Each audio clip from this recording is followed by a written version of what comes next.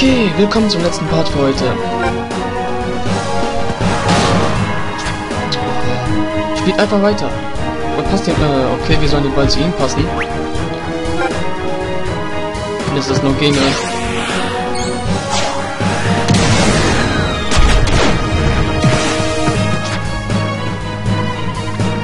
Wo bist du denn, du kleiner Homo?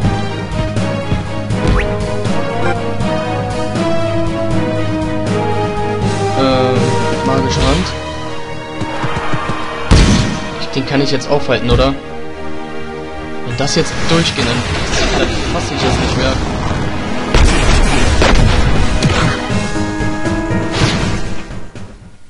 Tor! Wie schade für euch. Ja. Okay. Nathan. Du wolltest ja unbedingt den Ball.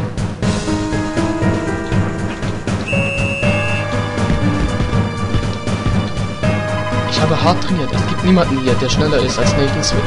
Es ist mir egal, gegen, we äh, gegen wen ich spiele. Ich werde auf keinen Fall verlieren. Nathan verspielt einen Energieschub. Nathan und TP wurden vollständig aufgeführt.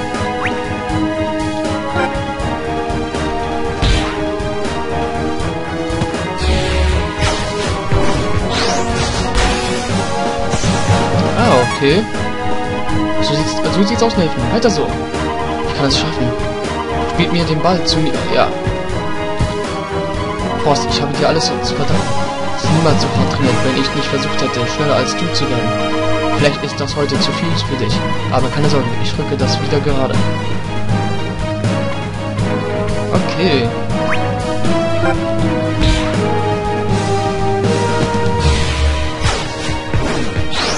Wie lange das jetzt wohl läuft? Der blauhaarige Junge wird von Sekunde zu Sekunde schneller. Das passt mir gar nicht. Weit. Ja, Vater, ich verstehe. Szene. Hm? Ich habe einen Befehl vom Vater. Verstanden. Wenn Vater das so wünscht, wir werden ihn zermalmen. Mit wem sprechen Sie? Ich stehe unter Strom, Stuttner Jungs. Passt den Ball zu mir. Ja, die schnapp ich mir. Hey, das ist ein klares Foul. Nein, sie passen genau auf, dass sie eine gewisse Grenze nicht überschreiten. Törichte Erdlinge. Ah.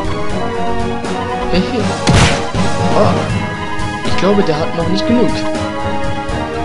Das ist furchtbar. Sie haben es auf ihn abgesehen. Armer Nathan. Hey, lasst ihn in Ruhe, Aliens. Hm, ja, Mark, wir dürfen nicht. Alle mal hören, hört mal damit auf, hört damit auf.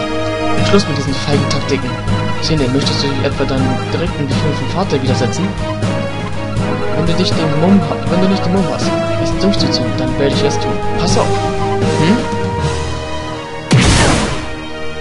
Oh. Damit hat sich's. Damit hat es sich? Mehr kann ich nicht tun? Nathan! Nathan!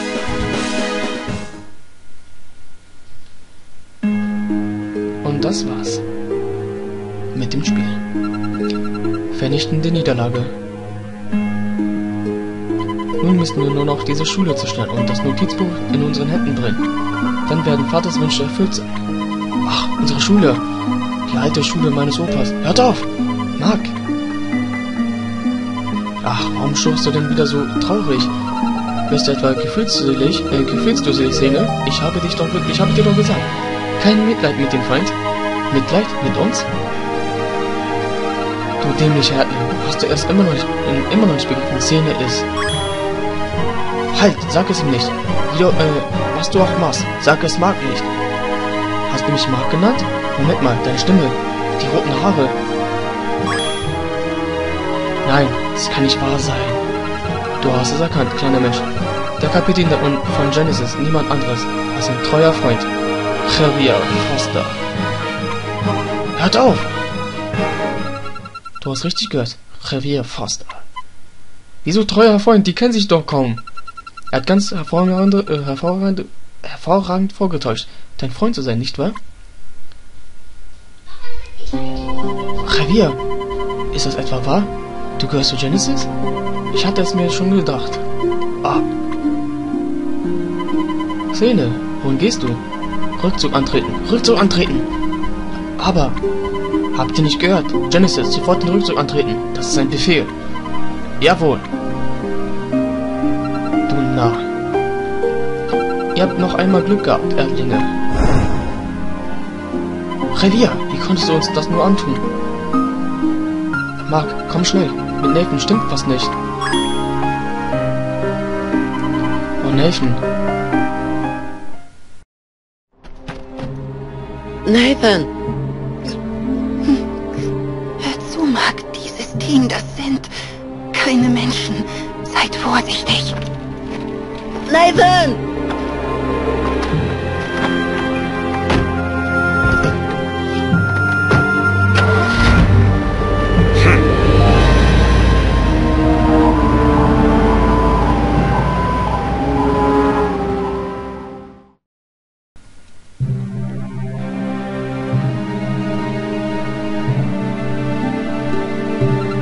Wieso hat dieser komische äh, Pfleger gelacht? Oh nein, Nathan. Hillmann vielleicht? Du, du steckst hier hinter diesen geheimen An äh, Anrufen? Gefällt es dir, kleine Kinder zu singen? Äh, Kinder leiden zu singen? Ist es das? Ach, tu doch nicht so sch äh, scheinheilig, als ob du auch nur im geringsten besser wärst als wir. Du trainierst nur die besten Spieler, um das stärkstmögliche Team zusammenstellen. Großer, großer Unterschied zu Genesis. Der Apfel fällt nicht weit vom Stamm, was? Das stimmt nicht. Sie sind, die sind nicht so. Mark und die anderen sind nicht, so, sind nicht wie Genesis. Nachdem sie von Genesis, Genesis äh, zermalmt worden sind, dürsten diese Kinder nach mehr Kraft oder etwa nicht. Wenn ich mich nicht irre, hat Evans dasselbe gesagt. Das selbst gesagt, so. Ich hab doch gesagt, dass der Daddy von ihr, äh, von den Typen, dass der, dass der Typ ihr Daddy ist. Wir haben gegen Genesis verloren. Das heißt, dass wir stärker werden müssen. Immer stärker und stärker. Nein, das sehe ich nicht so. Diese Kinder, ich, ich tun das Richtige.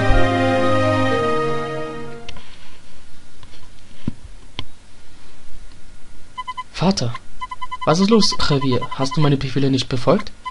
Vergeben Sie mir, Vater, aber Raimund ist nicht unser Feind. Sie können uns nicht besiegen. Was, ist für ein, was für einen Sinn hat es, gegen Raimund zu kämpfen? Hehe, das ist das erste Mal, dass ich aus deinem Mund eine eigene Meinung höre, Revier. Sind unsere Feinde nicht in Übersee? Das, das haben sie doch immer gesagt. Ganz genau, und deswegen müssen wir den Rück rückgratslosen Anführer dieses Landes zeigen, wer das, wer das Sagen hat. Ich, ich wollte immer schon auf dem Fußballplatz gegen Mark antreten. Ich dachte, es würde Spaß machen. Aber als ich den Schmerz in seinem Gesicht sah, da war überhaupt kein Spaß. Gefühlsausbrüche stehen dir nicht so gut. Zu Gesicht, Revier. Sei still und tu, was ich dir sage. Aber Vater, unser Gespräch ist zu Ende. Hm. Hm. Trauriges Ende. Nathan ist schon seit zehn Stunden im Operationssaal. Wir haben noch keine Neuigkeiten. Ich wünsche nichts mehr, als dass es ihm gut geht. Was ist mit Frost? Wie geht es ihm? Er sieht nicht verletzt aus. Er, es ist nur, er hat anscheinend Albträume. Albträume? Hm. Könnte es sein, dass... Was ist los, Mark? Weißt du, wo, woran es liegen könnte? Frost hat letztens etwas gesagt. Er fragte mich, ob er sich bei unseren Spielen seltsam benommen habe. Ich habe nicht verstanden, was er meinte, deswegen habe ich ihm nicht viel dabei gedacht. Aber vielleicht hatte, hatte ich das nur, hätte ich das tun sollen. Die Albträume könnten etwas mit allem zu tun haben. Vielleicht ist er in Schwierigkeiten.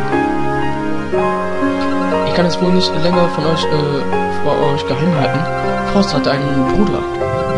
Hatte? Sein Name war Aida. Er hatte als Kind gemeinsam mit Frost Fußball gespielt. Frost war Verteidiger und Aida spielte als Stürmer. Schön gespielt, Sean. Jetzt passt zu mir. Ball kommt, Aidan.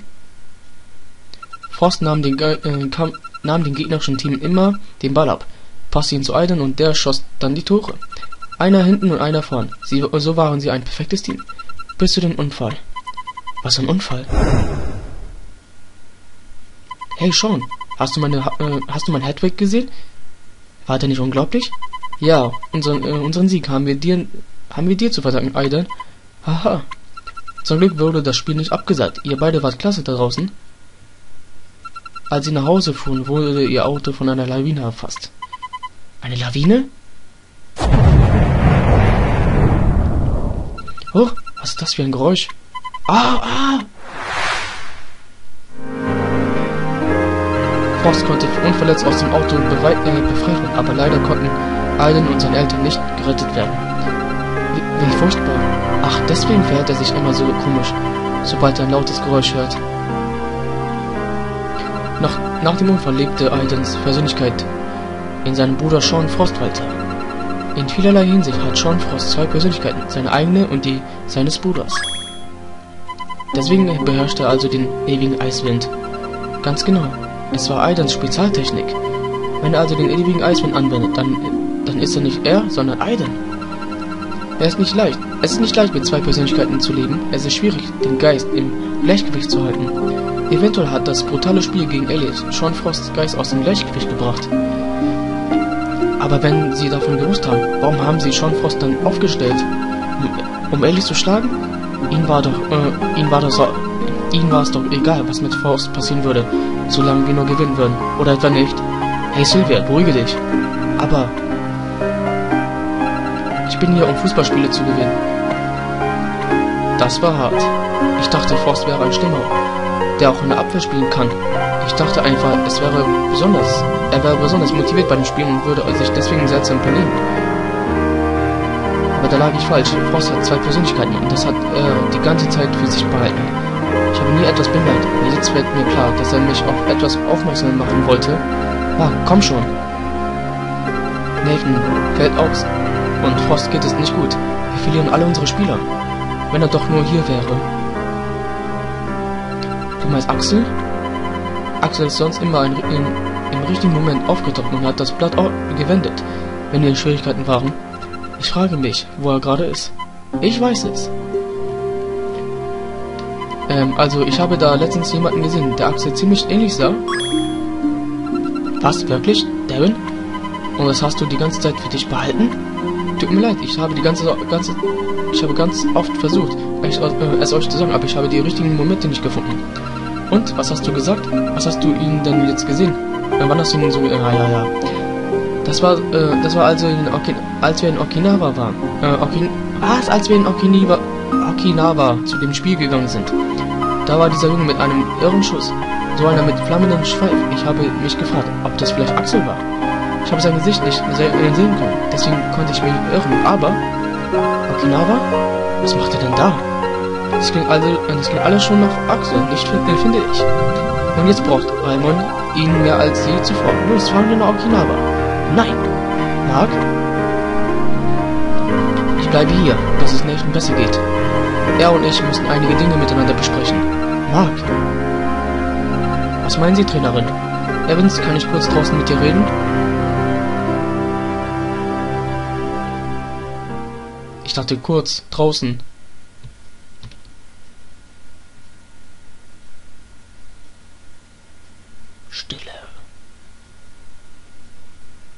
Ich weiß, dass es dich bedrückt, dass du im Moment im ne mit Nathan verkracht bist. Was? Wieso wissen Sie das denn? Ich bin deine Trainerin. Ich passe auf meine Spieler auf. Nathan ist immer einer meiner besten Freunde gewesen. Jemand, mit dem ich reden konnte. Er hat sogar deine, äh, den Leichtathletik-Club verlassen, um zum Fußball, äh, Fußballteam zu kommen und mir zu helfen. Er hat so viel für mich getan, aber ich konnte nichts für ihn tun. Er ist das Minde es ist das Mindeste, dass ich, dass ich erwarte, bis es ihm besser geht. Und mich auf den Tag freue, an dem ich wieder mit ihm Fußball spielen kann. Marc. Ja, Trainerin? Es wird alles gut, das verspreche ich dir. Nathan und du, ihr werdet das schon schaffen. Haben Sie jemals mit jemandem zerstritten und, und danach nie wieder gute Freunde und sind danach nie wieder gute Freunde gewor äh, geworden, Trainerin? Waren wir uns jemals so nah? Waren wir uns jemals so nah? Ich kann mich nicht mehr erinnern. Hä? Weißt du, weißt du, euch Kinder beim Fußballspielen zuzusehen, erinnert mich an meinen Bruder. Sie haben einen Bruder? Ja, er hat Fußball so sehr geliebt, dass er in ein Trainingscamp in Ausland gegangen ist. Er ist von uns gegangen, als er, dort, als er dort war. Ich verstehe. Ja, schon, es ist schon seltsam. Du bist die erste Person, mit der ich jemals darüber geredet habe. Mark. Nathan. Nathan? Bedeutet das, dass es dir wieder gut geht? Kannst du ohne Hilfe laufen? Es tut mir leid, dass ich mich vorher nicht gemeldet habe. Ach, das mache ich, äh, das macht doch nichts.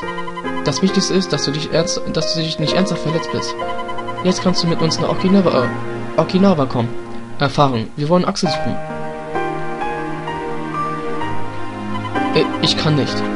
Was? Ich fürchte, der junge Herr Smith, äh, Swift muss noch etwas länger bei uns bleiben. Ich, ich verstehe. Trotzdem, du wirst bestimmt bald entlassen. Und dann können wir...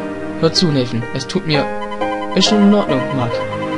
Geht ihr nur vor. Ich komme schon noch wach. Aber vergiss es nicht. Ich werde auf dich warten. Ich weiß, was deine Au Aufgabe ist, Mark. Und deswegen heißt es jetzt erst einmal... Lebe wohl. Und Frost? Ich bin Sean Frost. Ich bin nicht Aiden. Aber alle wollen nur sein Talent als Stürmer. Meine Fähigkeiten in der Abwehr werden nicht gebraucht. Was soll ich tun? Was kann ich? Ich hätte überleben sollen, nicht du. Niemand braucht dich. Oh, das war hart. Hey Frost. Geht es dir gut? Ja. Na gut, also wollen wir gehen? Alle warten schon auf dich. Ach ja?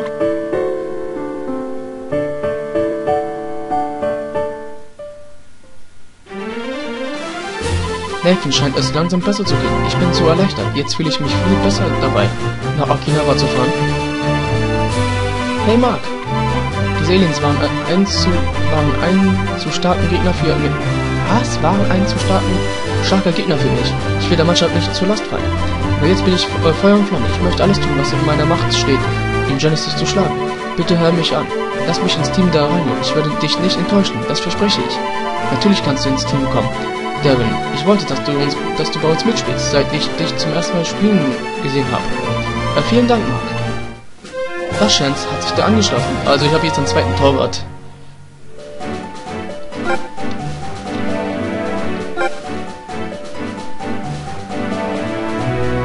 Viel Glück, Devin. Und verpasst den Alien in meinem Namen eine Abreibung, ja? Wir werden dich alle anfällen, Devin. Los, Devin. Vielen Dank, Leute. Passt auf euch auf. Ihr seid wirklich würdige Nachfolger von David Evans Inazuma 11. Danke, bis bald, Herr Rektor.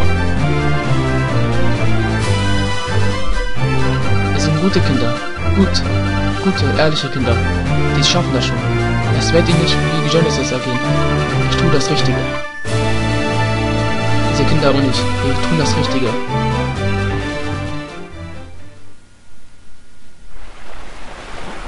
Währenddessen in äh, Okinawa.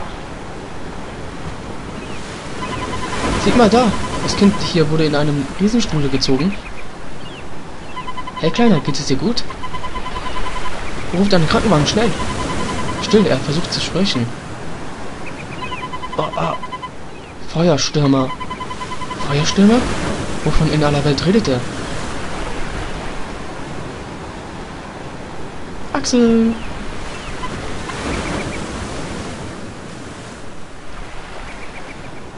Hast du einen Moment Zeit? Ich hätte da ein paar Fragen.